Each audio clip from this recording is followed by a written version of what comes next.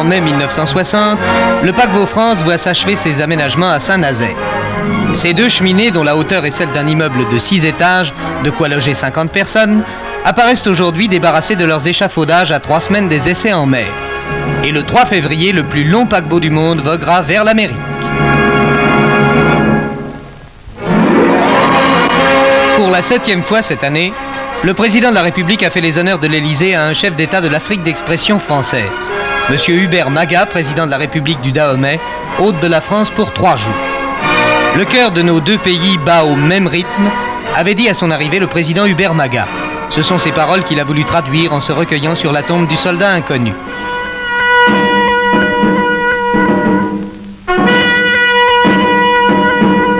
Et à travers cette visite du Dahomey à Paris, la foule des Champs-Élysées a pu évoquer l'amitié d'un pays lié à la France depuis 1895 et à qui elle a donné, voici un an, l'indépendance.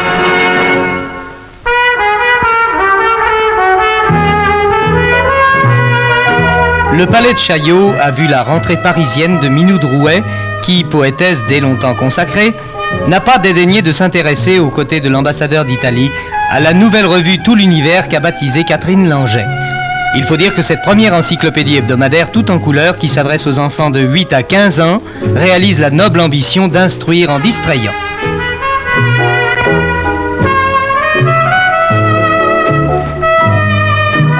Aux côtés du peintre Jean-Gabriel Domergue, promu président de jury, de Robert Roca et maître Henri Torres, de Pierre Dudan, on devait retrouver Minou Drouet. Preuve que Paris est petit. On devait aussi retrouver Catherine Langeais, qui a remis les palmes d'or du roman d'espionnage 1961 à Serge Laforêt. Avec une chèvre, symbole de la sorcellerie, qu'appelait évidemment le titre de son livre, Le temps des sorciers.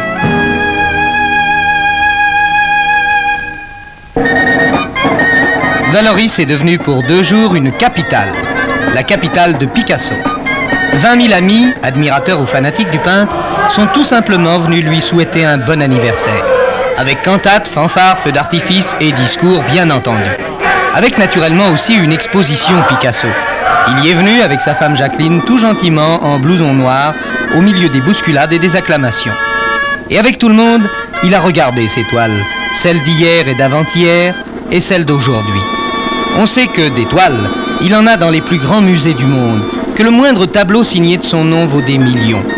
On sait que sa première exposition date de 1897 et que la gloire de ce peintre étonnant qui a passé sa vie à désintégrer la peinture est vieille d'au moins 40 ans. On sait aussi qu'il en a 80 aujourd'hui et qu'il est toujours aussi jeune. Et en souvenir de cette corrida qu'il a peinte et repeinte, on lui en a offert une, avec Dominguine qui est son ami.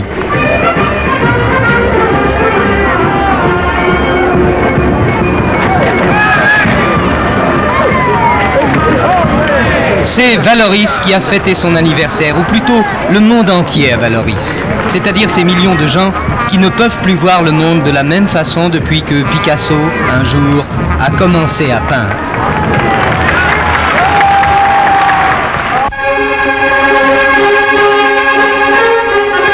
Le monde, est-il besoin de le dire, vit des temps troublés. Dans Berlin, nouvelle tension. La police de M. Ulbricht, persistante à vouloir contrôler les militaires alliés en civil au passage de la ligne frontière, le commandement USA a décidé de les faire accompagner en cas de difficulté par des soldats en armes. C'est ce qui s'est passé à plusieurs reprises, et notamment pour le passage en zone Est de l'adjoint du général Clay. Ces vexations répétées faisant suite à des mesures prises en dehors de tout accord des quatre puissances occupantes ont provoqué une tension accrue. Les troupes ont été mises en état d'alerte et de chaque côté de la frontière, chars américains et chars soviétiques se sont fait face au point de passage de la Friedrichstraße pendant plus de 12 heures. Depuis, la tension s'est relâchée. Les chars ont été retirés, mais le problème de Berlin demeure.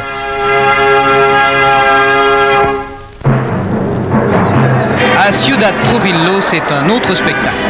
La capitale de la République dominicaine continue à vivre des semaines agitées. À plusieurs reprises, des manifestations d'étudiants se sont heurtées à la réaction sans douceur de la police gouvernementale. Il apparaît, malgré l'influence durable de l'ex-dictateur, que la succession de Trujillo, dont l'un des fils a pris la place, est très controversée. On ajoute à cela la proximité de Cuba.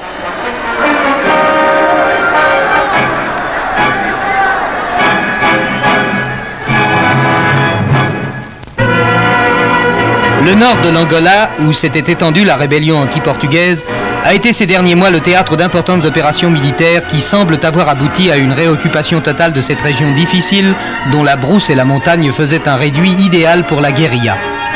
Le dernier épisode, la prise du village de Nambuangongo, qui était devenu le PC de l'agitation, a été le coup décisif d'une campagne particulièrement dure où les unités portugaises ont eu à lutter autant avec les difficultés du pays et du climat qu'avec les noyaux de rebelles.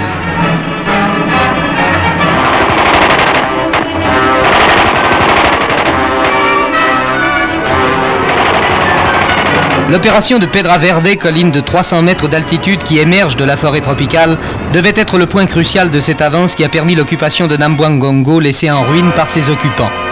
Les populations qui avaient fui leur foyer rentrent maintenant peu à peu et l'on peut croire que les mouvements militaires de quelque envergure ont pris fin. Mais le leader nationaliste, Holden Roberto, qui dirige la rébellion depuis Léopoldville, ne désarme pas.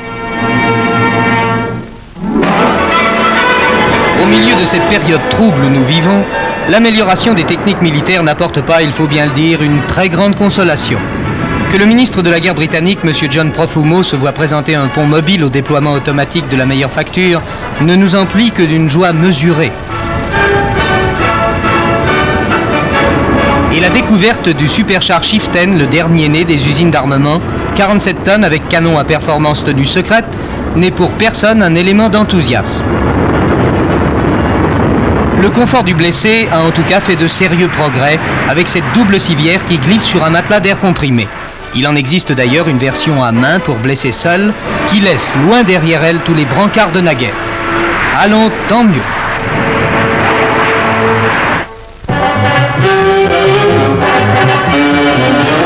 S'ils avaient été un tout petit peu superstitieux, les 13 jockeys du grand steeple de Tchécoslovaquie n'auraient peut-être pas pris le départ de l'épreuve et ils auraient sans doute bien fait. Ce ne sont là que hors d'œuvre. Les 6900 mètres du parcours sont jalonnés de bien d'autres obstacles que l'on franchit tant bien que mal, et plutôt mal que bien, mais l'essentiel n'est-il pas de rester sur le dos du cheval?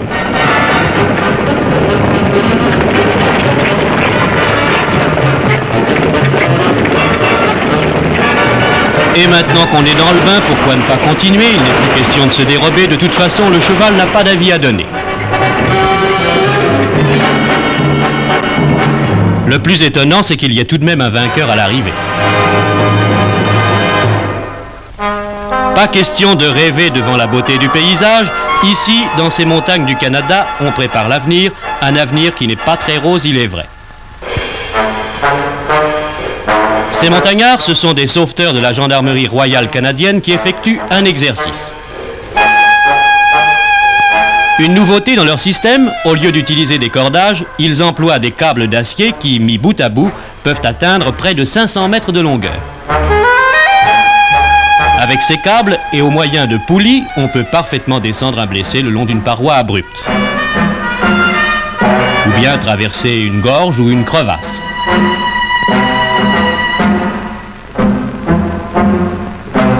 Pour les cas graves, il a même été prévu une civière.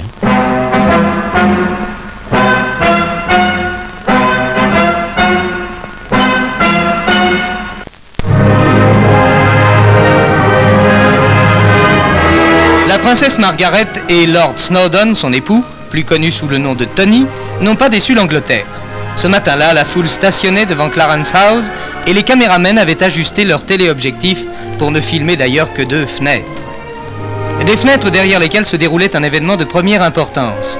Un nouveau vicomte venait de naître à l'Angleterre aux accents débonnaires de la musique de la garde. Fils de la princesse Margaret, le vicomte Linley de Naemans est le cinquième dans l'ordre de succession au trône. Dont acte.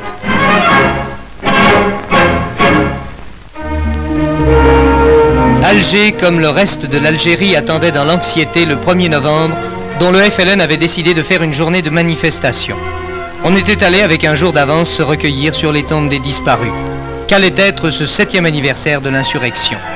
Au matin, la Casbah présentait des rues vides, seulement animées par la marche d'une patrouille. L'effectif du service d'ordre à Alger avait été porté à 35 000 hommes, si bien que les cortèges, une fois formés, en ont été réduits à tourner en rond dans les quartiers fermés.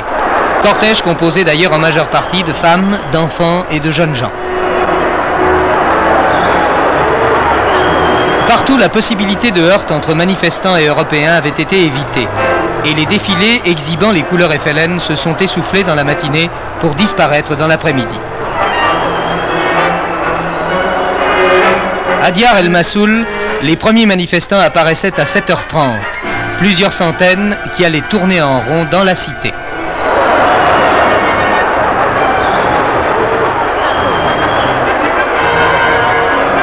Aux portes, les blindés fermaient la route à toute tentative d'étendre les manifestations. Dans toute l'Algérie, ce 1er novembre devait toutefois se solder par 77 morts et 146 blessés. Mais à Alger, comme dans les autres grandes villes d'Algérie, l'affrontement entre les deux communautés a été évité. La capitale du Honduras britannique, Belize, n'existe plus, ou à peu près. Des rues encore noyées sous les eaux, de rares habitations encore partiellement debout, des gens hagards. C'est le spectacle qu'offre une cité de 30 000 habitants après le passage de l'ouragan Hati. Pillages, menaces d'épidémie n'ont fait qu'accroître une situation beaucoup plus désastreuse que les premières informations erronées ou mensongères ne l'avaient laissé imaginer. L'évacuation annoncée n'ayant pas eu lieu, on compterait un grand nombre de morts. Belize, en effet, aurait été détruite à 75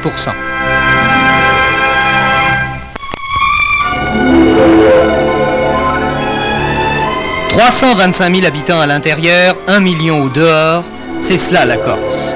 Du moins selon les Corses eux-mêmes. Et il est de fait que les Corses forment de véritables colonies. Une sorte d'axiome prétend aussi qu'en France, le policier est corse et l'adjudant et le douanier et le gardien de prison et tant d'autres fonctionnaires. Il y a du faux et du vrai. Tous ces Corses ne restent pas isolés. Ils se voient, se retrouvent, restent unis en dépit des différences de situation, racontent les mêmes histoires et font les mêmes gestes.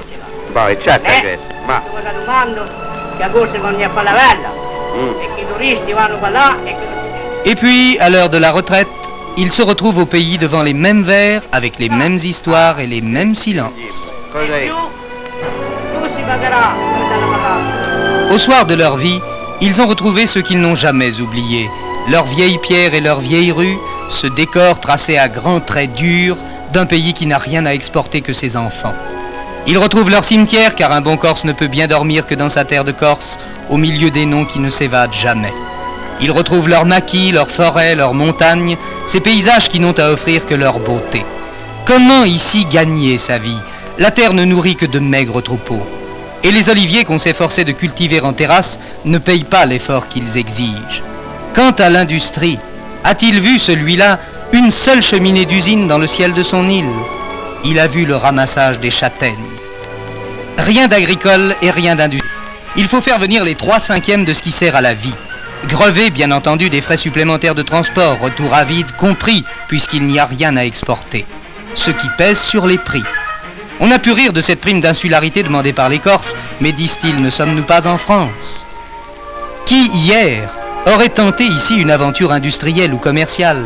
La ville de Sartène, une sous-préfecture, n'a même pas de gare. Cas unique en France, aucune voie ferrée n'y conduit. Et la vieille ville peut bien souhaiter la bienvenue à ses visiteurs, ils n'y débarqueront pas par trains entiers. Sartène est un exemple extrême, mais les chemins de fer sont rares. Et faute d'un rendement suffisant, on les a même condamnés, ce qui a suscité des protestations véhémentes. La Corse, demain, pourrait être le seul département français à ignorer le chemin de fer. Quant à la route, trop souvent resserrée, elle se perd en méandre dans les cantons perdus. Réseau parcimonieux, elle joint les villes, mais par des fils si ténus. On dirait que la Corse a été oubliée pendant des décades de progrès matériels, comme elle l'avait été par des siècles d'isolement. On dirait qu'elle se contente d'être, avec ses paysages qui peuvent compter parmi les plus beaux du monde, une patrie pour petits retraités. On dirait qu'elle a tout épuisé avec le souvenir dans lequel Ajaccio s'endort chaque soir depuis un siècle, celui d'un petit lieutenant d'artillerie. Mais il faut revoir ce problème à la lumière d'aujourd'hui.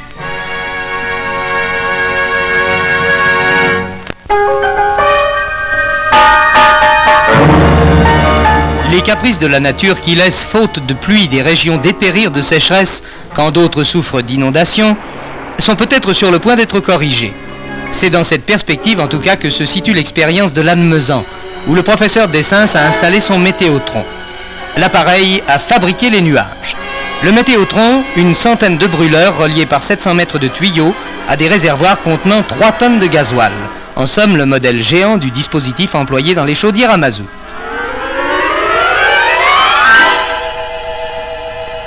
L'allumage, évidemment, est un peu plus compliqué et c'est tout. Mais l'histoire ne s'arrête pas là. Une énorme source de chaleur se trouve ainsi créée. Elle va amorcer le processus de formation d'un cumulus qui, soit dit en passant, n'aura rien à voir avec les fumées parasites dégagées par la combustion. L'air surchauffé, aspirant l'air humide ambiant à 20 km à la ronde, va s'élever à 100 ou 200 km à l'heure jusqu'aux zones d'air froid et sec où va s'opérer la condensation qui fera naître un cumulus. Désormais donc, un cumulus peut naître là où l'homme en aura décidé. C'est là la révolution apportée par les expériences de l'Admezan, où des radars spéciaux permettent de suivre la formation du nuage. Il suffit alors d'une projection d'iodure d'argent sur ce nuage pour le faire tomber en pluie. La première étape des expériences s'est ainsi révélée concluante.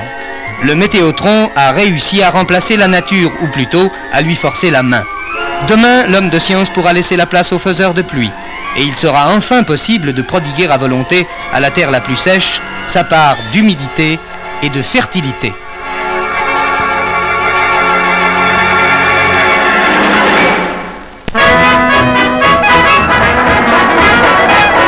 On attendait beaucoup du combat de deux des meilleurs poids moyens français, Marcel Pigou, culotte à parement blanc, et Hippolyte Anex, adversaire d'un soir au Palais des Sports à Paris.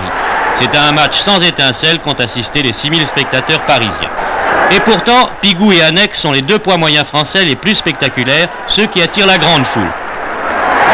À vrai dire, le spectacle était surtout dans la salle où se trouvaient mêlés joueurs de l'équipe de France de football et vedettes de cinéma. Hippolyte Annex est plus brouillon qu'efficace, cependant son dynamisme finit par être payant. Trois fois Pigou va à terre au cours du huitième round. Lorsque Pigou se reprend, il est beaucoup trop tard et c'est très justement qu'Annex remporte ce combat.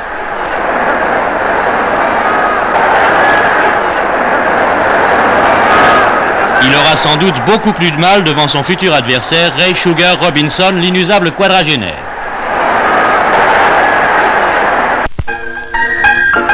Nous aussi, nous avons des arguments à faire valoir dans les concours de beauté. Et nous ne manquons pas totalement d'éloquence, à preuve.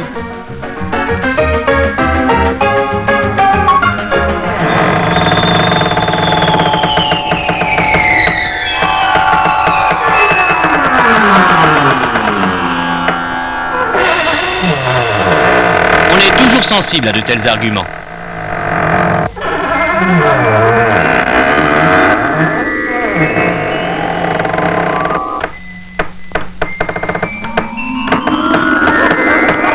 Allons, monsieur, ne soyez pas jaloux.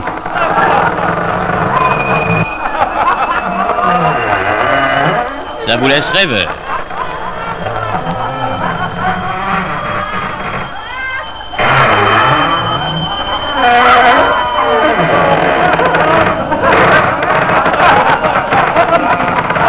Enfin un connaisseur.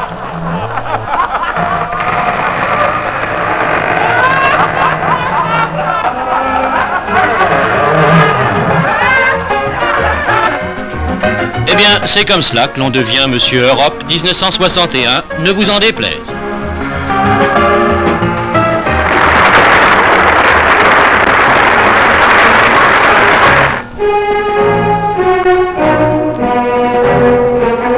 11 novembre, le général de Gaulle était au rendez-vous de la piété nationale. Devant le tombeau du soldat inconnu, entouré des anciens combattants des deux guerres, françaises et alliées, le chef de l'État a commémoré le souvenir de la victoire de 1918 et en même temps le souvenir de tous ceux qui tombèrent sur les champs de bataille.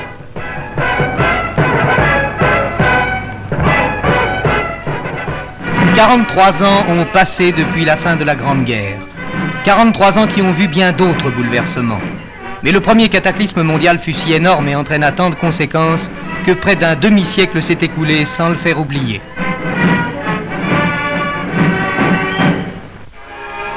Le célèbre pavillon de Flore quitte enfin le service des finances de l'État pour se mettre à celui des beaux-arts. M. Baumgartner en a remis solennellement les clés à M. André Malraux, ministre des Affaires culturelles. Le pavillon de Flore va être aménagé pour recevoir les collections de sculptures des 18 et 19e siècles du musée du Louvre.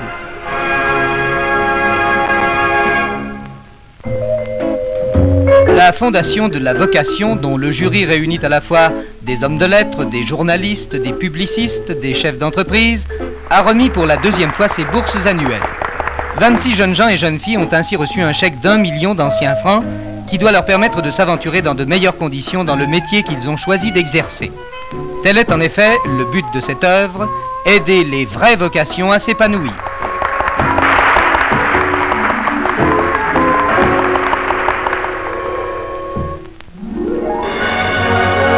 Le ministre de la Santé publique, M. Joseph Fontanet, s'est vu présenter le timbre de la nouvelle campagne antituberculeuse 61-62. Traitement bien suivi, guérison assurée, tel est le thème de cette campagne qui vise à mettre en garde les malades contre les dangers auxquels les expose le manque de persévérance.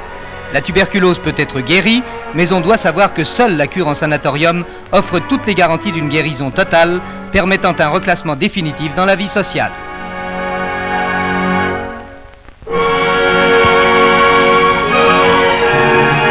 Cette terre de Corse dont la semaine dernière nous disions qu'il fallait revoir ses problèmes à la lumière d'aujourd'hui, il ne faut tout de même pas la simplifier au point d'en faire le tableau traditionnel qu'on regarde avec une affection découragée. La Corse est un diptyque dont le premier volet, sans doute, est celui du criminel inconnu, le Catenaccio, traînant ses chaînes sous la cagoule d'un pénitent du vendredi saint, des vieilles femmes en fichu noir, des ruelles et des maquis.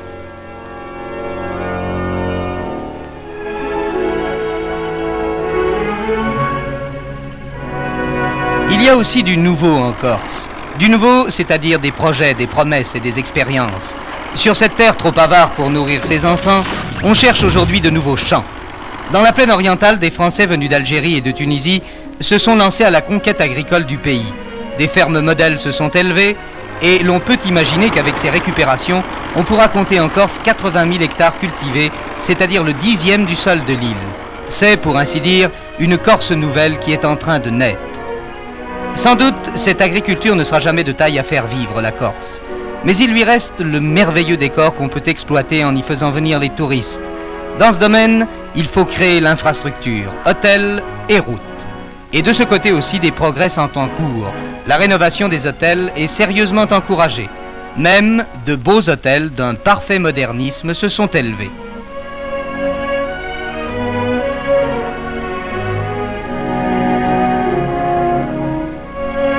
Déjà aussi, le problème routier a été sérieusement étudié. Un réseau de routes touristiques est ou en projet ou en cours d'exécution. Et le voyageur de demain ne se posera plus la question d'amener avec lui sa voiture. Il s'agit de refaire la Corse à l'échelle moderne. Or, l'avenir de la Corse, c'est peut-être simplement de pouvoir montrer ses calanques et ses vieilles villes. Et là-dessus, son ciel des dimanches. C'est à cette Corse, avec ses problèmes, avec aussi ses espérances, à cette Corse qui n'avait pas reçu la visite d'un président de la République depuis 40 ans, que le général de Gaulle a choisi de consacrer les premières journées de son 15e voyage en France. Et Bastia, comme Ajaccio, lui ont réservé le même accueil. Un accueil tel que l'avaient défini à l'avance des personnalités de l'île, chaleureux, sans arrière-pensée, comme savent le faire les Corses. Et c'est devant cette foule que le chef de l'État devait rouvrir le dossier algérien. Si personne n'y met de préalable, et nous n'en mettrons aucun, la conversation va s'engager d'un jour à l'autre.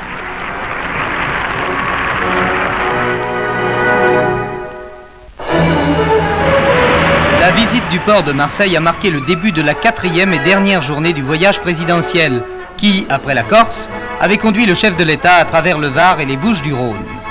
À Marseille, porte de la Méditerranée, ouverte sur l'Afrique du Nord, le général de Gaulle devait évoquer à nouveau le règlement de l'affaire algérienne. Il devait le faire devant une foule immense. Je déclare que la solution du problème algérien, c'est que l'Algérie dispose de son destin. C'est qu'une coopération soit établie entre l'Algérie nouvelle et la France.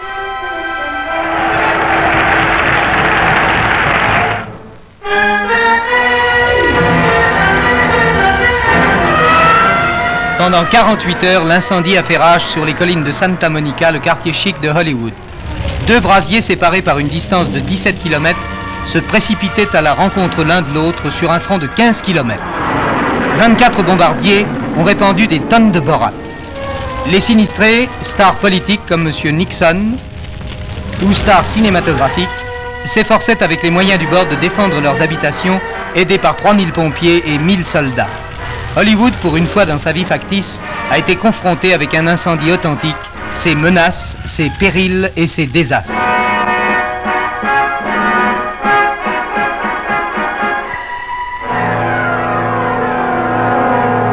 Aujourd'hui que le danger est passé, on peut évaluer l'ensemble des dégâts. 200 villas sont détruites avec tout le luxe qu'elles contenaient. Peut-être 50 milliards d'anciens francs réduits en fumée.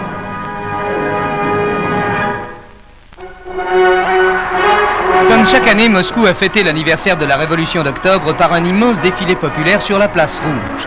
La fin officielle du culte de Staline a produit cet effet que l'effigie de Khrouchtchev a remplacé celle du dictateur défunt. Et dans la tribune officielle qui surmonte le monument d'où le corps de Staline a été enlevé, le maître du Kremlin, entouré de ses invités étrangers et des membres du gouvernement, a présidé cette manifestation de masse désormais classique.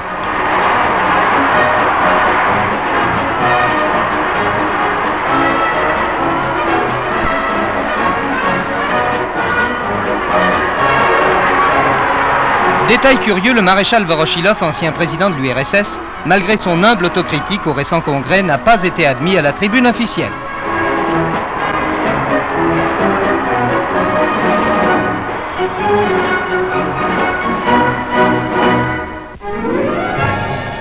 Le mur qui coupe Berlin en deux coupe en deux des familles. Prétexte d'un grave incident de la vie internationale, il est en même temps à l'origine de drames familiaux.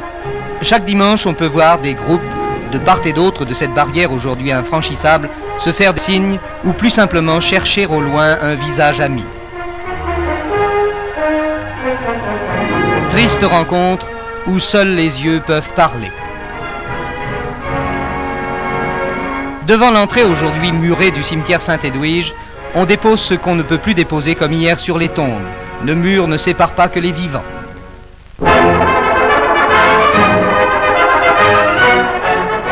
Pour l'équipe de Bulgarie, maillot blanc, la rencontre devant la France à Sofia, c'était le match de la dernière chance, le match qu'il fallait gagner à n'importe quel prix. Les Bulgares y ont mis le prix, en effet, ils n'ont pas hésité à appuyer leurs actions avec une certaine rudesse, sous l'œil bienveillant de l'arbitre, un arbitre que les Français ne sont pas prêts d'oublier. Au début du match, on craignait le pire pour l'équipe de France, à tort sans doute, puisque toutes les attaques bulgares devaient avorter sur une défense très efficace. Pour les Français, une seule consigne, le match nul, à la mi-temps, tous les espoirs leur sont encore permis. À plusieurs reprises, en seconde mi-temps, ils ont même le but au bout du pied. Une combinaison Guillas-Muller-Fulginzi sur coup franc est près d'aboutir. Mais l'arbitre, lui, est bien décidé à offrir la victoire à la Bulgarie. À une minute de la fin, un Bulgare commet une faute dans le camp français. Qu'à cela ne tienne, coup franc pour la Bulgarie. Le coup franc ne donne rien, pas de chance, dit l'arbitre, on va le rejouer. À ce petit jeu, les Bulgares finissent par gagner, mais on se demande encore ce qu'aurait fait l'arbitre si les Bulgares n'avaient pas profité de son cadeau.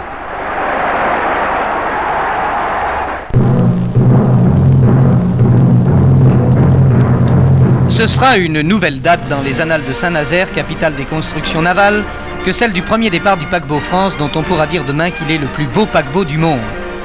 Tiré par Sir Morker, le géant a pris le large pour ses essais en mer qui le mèneront au Havre, son futur port d'attache.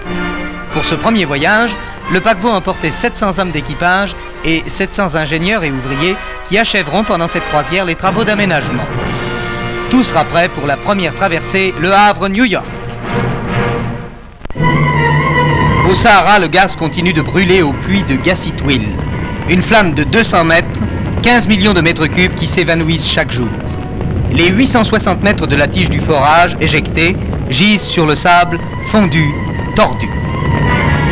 L'intense chaleur dégagée crée un puissant appel d'air, l'air chaud aspiré semble couler, et, chose étonnante dans ce pays de la sécheresse, la torche de Gassitwil fabrique des nuages.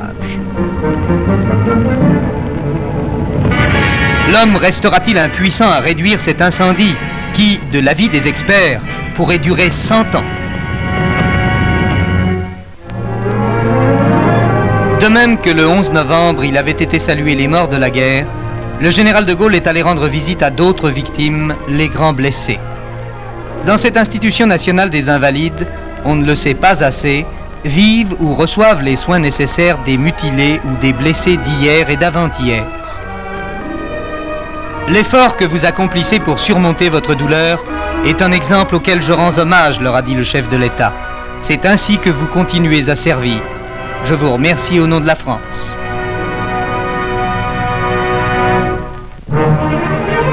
À la gare de Brie-sur-Marne, le chef de l'État français avait rendez-vous avec l'abbé Fulbert Goulou, président de la République du Congo, huitième chef d'État de l'Afrique d'expression française à être reçu à Paris. Il y a tant de liens qui unissent nos deux pays, disait en l'accueillant le général de Gaulle. Ces paroles devaient trouver leur prolongement à l'Élysée un peu plus tard, où les deux hommes se retrouvaient en tête à tête pour un premier entretien. Cette visite est à la fois un espoir et une conclusion. Brazzaville, on s'en souvient, est à l'origine du grand mouvement français qui devait opérer l'évolution des pays d'Afrique noire.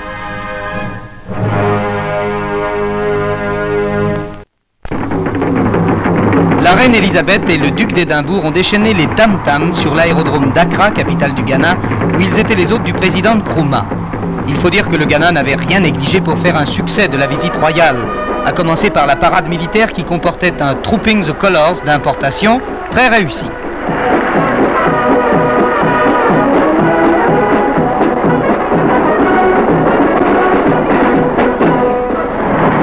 Le folklore autochtone a bien entendu été lui aussi mis à contribution au cours de ce voyage qui avait failli être annulé au dernier moment pour des motifs de sécurité et qui s'est, en dépit des pronostics, révélé triomphal.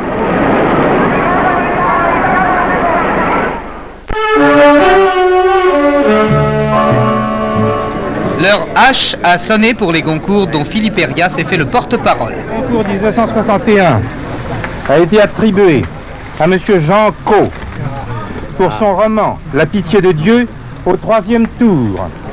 En même temps, c'est la tradition, était attribué le prix Renaudot. Et les dix n'ont eu que quelques pas à faire pour féliciter avec les journalistes l'heureux lauréat du Renaudot, Roger Bordier.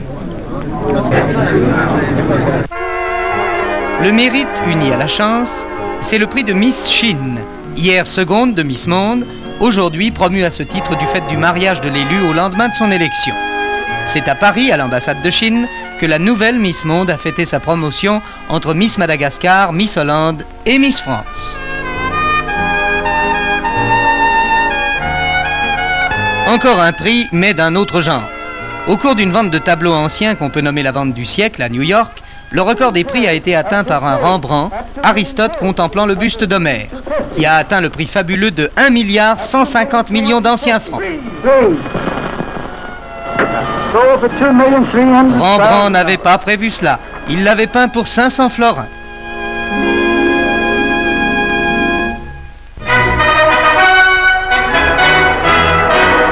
Les Nîmois, maillot foncé, culotte blanche, n'ont pas amené le soleil du midi sous leurs crampons au stade Bollaert à Lens. Le soleil était plutôt du côté des joueurs lensois qui jonglent en ce moment avec leurs adversaires.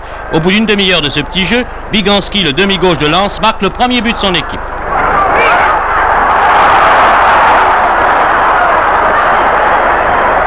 Et les offensives de Lens continuent. Wisniewski, numéro 9, qui jouera peut-être dans la prochaine équipe de France, coordonne parfaitement les mouvements de ses attaquants et Lens ne va pas tarder à marquer son second but. Voilà qui est. Décidément, rien ne va plus à Nîmes. Lens en effet poursuit ses offensives, toujours avec le même persan. Les Nîmois ne savent plus où se placer pour empêcher leurs adversaires de tirer au but. 3 à 0 pour Lens. Et dans le coin des supporters, les Nîmois ne font pas le poids, à en juger par les apparences du mois. Dans les dernières minutes, les Nîmois à leur tour marquent un but, ce qui n'empêche pas cependant l'équipe d'être battue par trois armes. N'ayez pas d'une attaque si votre Le palais des sports parisien à l'heure du rock'n'roll, ça c'est du sport. Mais la jeune vague n'a rien inventé, ce qu'elle appelle aujourd'hui rock, du temps de grand-papa, ça portait déjà un nom. On appelait ça la danse de cinq.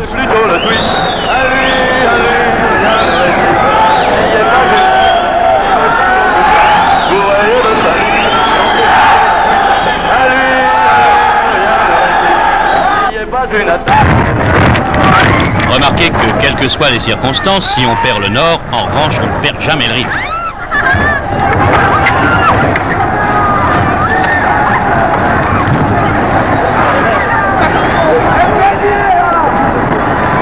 La valse des bâtons blancs pourrait bien en définitive prendre le pas sur le Bilan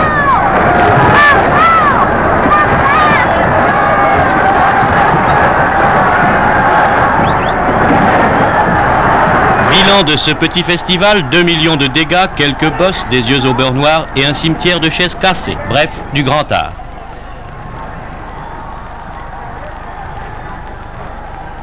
Pourquoi donc vous en plaindre, monsieur Weinsteller? Vous y êtes peut-être pour quelque chose.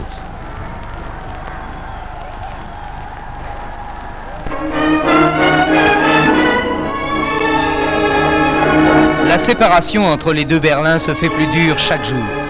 Par des gestes multiples, la population de Berlin-Ouest manifeste sans répit sa colère tout le long de la barrière qu'elle nomme le mur de la honte. Depuis quelques jours, le gouvernement de Pankow fait de nouveau renforcer cette barrière qui interdit totalement l'accès de la porte de Brandebourg. Un véritable mur de béton, haut de 2 mètres, doublé par des chevaux de frise, qui rappelle la ligne Siegfried, sépare les deux Berlins. Prétexte officiel, accroître la sécurité de Berlin-Est.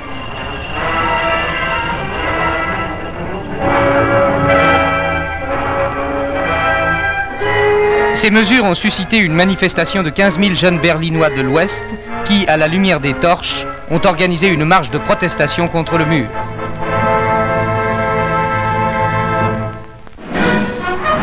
Voici 17 ans, dans Strasbourg libéré, le général de Gaulle était allé célébrer au milieu de l'armée française remise au combat l'action héroïque qui avait sauvé la capitale alsacienne. Avec Leclerc et avec Delattre, dans cette cathédrale que le serment de Koufra fixait comme le but même de la résurrection de l'armée française, il avait entendu le Tédéum de la victoire.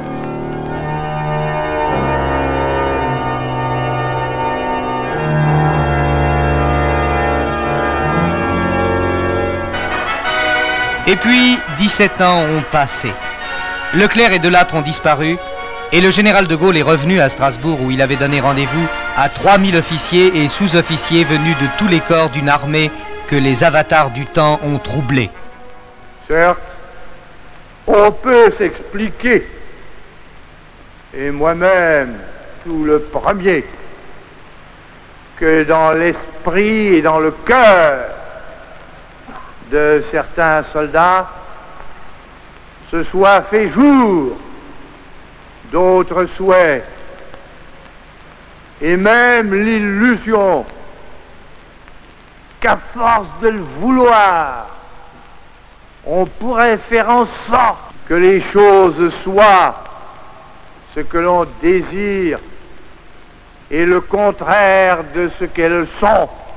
Mais, dès lors que l'État et la nation ont choisi leur chemin, le devoir militaire est fixé une fois pour toutes. Hors de ces règles, il n'y a, il ne peut y avoir que des soldats perdus. Des soldats perdus, ils ne peuvent pas l'être. Il n'y a qu'à voir défiler dans le brouillard de Strasbourg cette armée rénovée pour sentir, selon les paroles du chef de l'État, la confiance de la France en elle-même et en son armée.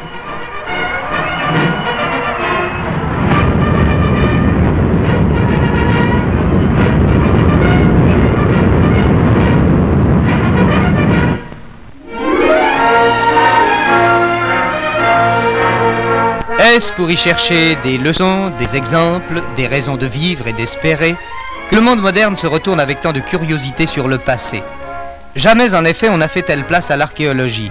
Aujourd'hui encore, près de Mexico, une mission est en train de mettre à jour une pyramide aztèque vieille de 800 ans dans un site jusqu'ici inexploré et où les possibilités de découverte sont considérables. Cette pyramide de taille modeste n'a évidemment rien de commun avec l'énorme pyramide du Soleil, haute de 73 mètres, vieille d'environ 3000 ans, et qui est sans contredit le plus remarquable des 11 000 monuments aujourd'hui classés de l'étrange civilisation aztèque.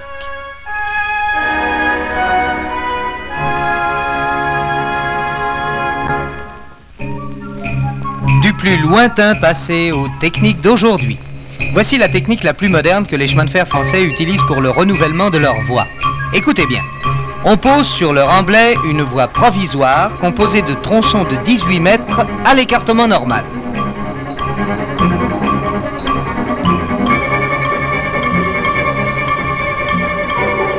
Grâce à cette voie provisoire, on dépose sur les traverses à l'extérieur des fils de rail de 300 mètres qui constitueront la voie définitive. Cette voie, plus large que la normale, est simplement posée, sans être fixée. Et voici l'opération technique qui se réalise sous vos yeux à l'aide de quatre chariots. Un chariot réduit l'écartement des rails de la voie provisoire, laissant l'emplacement libre pour la future voie ferrée.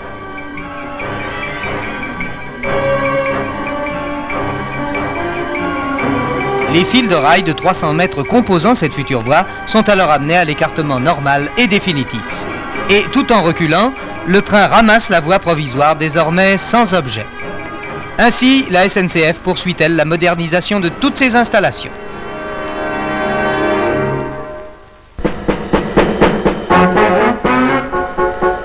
Le bœuf et le boucher. C'est un titre qui fait songer à une fable. Or, c'est un drame et un problème. Le gouvernement ayant, devant la hausse du beefsteak, décidé la taxation de la viande, les bouchers ont décidé de ne plus vendre de bœuf. C'est, réduite à ces éléments de base, la question du jour. La fièvre monta, la police dut intervenir aux abattoirs de la Villette, qui sont comme le thermomètre de la boucherie et de l'élevage. Et les bouchers se refusaient à s'approvisionner en bœuf. Autre problème. Au Hall, les entrepôts frigorifiques contenaient déjà 60 000 tonnes de viande. L'État devrait-il se charger d'un surcroît de marchandises que les bouchers se refusaient à écouler? Mais ce débat cache l'essentiel. Entre la viande morte et la bête vivante, pourquoi cet écart qui multiplie par 5 le prix d'achat sur pied?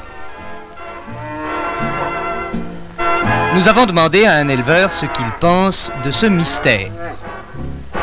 Moi, dans le circuit de je m'y perds complètement. Je vends mes bêtes sur pied de 180 à 200 francs kilo. Ça fait environ 370 francs le kilo de viande en carcasse. Je m'étonne après ça que le consommateur ne puisse pas trouver du beefsteak à moins de 12 à 15 francs kilo. Alors que préconisez-vous? Moi je trouve qu'il n'y a pas besoin de 4 ou 5 personnes entre le consommateur et moi. Je préférerais vendre mes bêtes à une seule organisation qui s'occuperait de l'abattage et de la répartition. Le fait est que, entre l'éleveur et le boucher, on compte quelques intermédiaires. Le petit ramasseur qui vend à un confrère plus étoffé, qui vend à un chevillard de la Villette, qui vend à un grossiste, qui vendra au boucher. Autre chose encore, la vétusté des installations et l'inorganisation de l'industrie. Les sous-produits inemployés, du temps, de la marchandise et de l'argent perdu. Seul ici, la réorganisation du circuit la révolution clé du circuit court, l'abattoir industriel en plein pays d'élevage résoudrait la question. Chemin direct qui mène sans intermédiaire du producteur au boucher ou au consommateur. Traitement à la chaîne sans perte, d'où un prix de revient plus bas. Ces abattoirs en outre récupèrent et utilisent scientifiquement les déchets, rendant l'opération plus rentable puisqu'elle supprime une charge jusqu'ici supportée par le roast. Dans les premiers supermarchés déjà, chez les bouchers un jour, la ménagère trouvera sous cellophane la viande de notre circuit court. Ce sera l'approvisionnement moderne d'un pays moderne qui, dans ce domaine de la viande, en est resté à Henri IV. Mais revenons à la question du jour, à cette bataille du beefsteak. Selon les derniers développements, elle semble évoluer vers l'apaisement. À la Salvagram, les bouchers parisiens, dont le leader M. Druckberg a déjà souvent fait parler de lui, ont tenu une réunion houleuse. Mais la raison peut quelquefois se faire entendre, même des bouchers en colère, et ils semblent avoir fait un pas, et même peut-être un geste.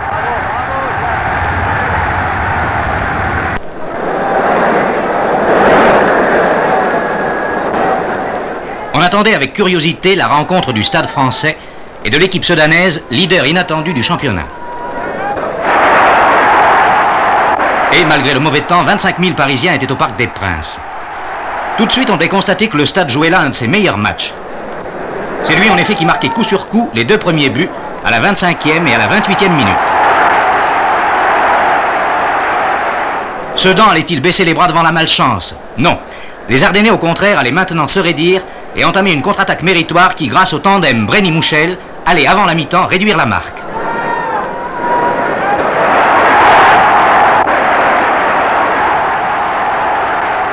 Cinq minutes après la mi-temps, Sedan, encouragé par son premier succès, marqué par Faustino, le second but égalisateur.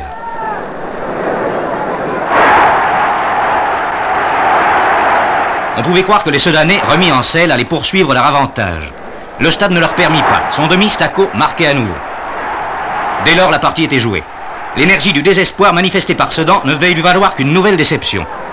Trois minutes avant la fin, Bourbotte marquait un quatrième but pour le stade.